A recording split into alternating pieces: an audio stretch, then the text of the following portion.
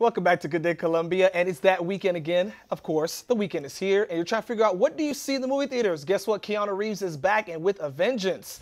Our movie expert Brandon Davis is here to give us all the lowdown on this movie, and looks like Keanu is taking it to the house with this one. Keanu Reeves brought his A game. He brought everything to this film. Well, okay, without giving it away, what can we expect here? this movie? Well, here's what it's about. I'll tell you what it's about. It might sound a little ridiculous, but it all they made it all very plausible. So, Keanu Reeves is an ex-hitman who retired years ago to get married. His wife was terminally ill. In the, early in the movie, you learn that she passed away prior to the movie starting through uh, a series of like not even I can't you can call them flashbacks, but maybe memories. As a matter of fact, we're showing like uh, the, just saw the clip. You saw his wife, kind of Yeah. like the flashback. Okay. Yeah, they, they show that uh, very early in the film. And so, as a sort of like a parting gift, she had this plan since she knew she was terminally ill. The night she passes, he receives a dog on his doorstep. They deliver him a dog, and there's a note attached, and it's from his, his late wife.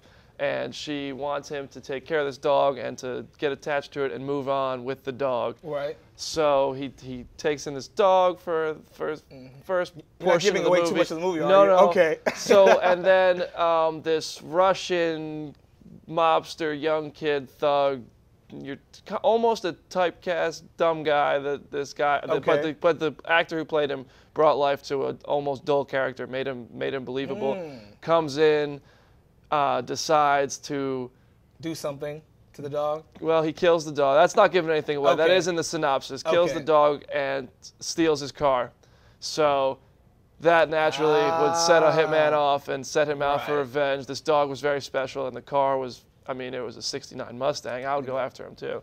but, so now he decides to come out of retirement and go after this guy, and, and it turns out he, he John Wick is reborn at this John point. Wick, and everyone knows who John Wick is too. Okay. That that the, the the it turns out the kid's father's the leader of this the Russian mob almost. Right. And it's not even a mob. It, was way more organized than that, and it wasn't like your typical mob movie where they're arrogant and they think nobody can touch them. They're Right. they're very they make good choices, which I really like. They're they're About who they they're humble about they- yeah they're they're like a humble mm-hmm. organized maf- mafia maybe and they, they don't just go out and say well we're gonna kill them. they're, they're like well you don't mess with this guy what did you Wow. do You know what? Speaking about that Mustang there, um, understandably, in this movie, Keanu is taking on some of the stunts himself. yeah I mean that was this was one of my favorite things of the movie there's there's one scene where there's a there's a huge cement block and there's a guy hiding behind it while Keanu is doing his Keanu Reeves thing and just mowing these guys down Right. and John Wick decides he's gonna come around this corner and take this guy behind the cement block out You like this movie. Thi- oh, Yeah. it was so cool. He comes, you see him come around the corner, shoot the guy, and then come right into focus, and Keanu Reeves is driving the car.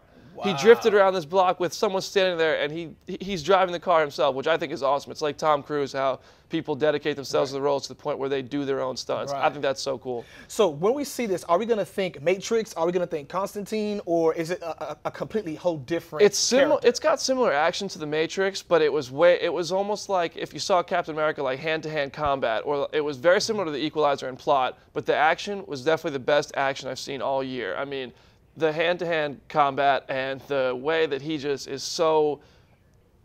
Into that character. It's just it flows. Gotcha. Everything was flowed for him, and he he brought action like in ways that Liam Neeson brings it. Denzel brought in the Equalizer, and he was he was right at the top of the game with Ah. All those names like that. And speaking of being on the top of the game, what's your rating, really quick, out of ten? rating is at the, it's almost at the top this year. It's 8.6 out of 10. Okay, eight, This okay. was good. I mean, it was it was everything the Equalizer did wrong. This did right. The action was amazing. Keanu Reeves brought his A game. Mm-hmm.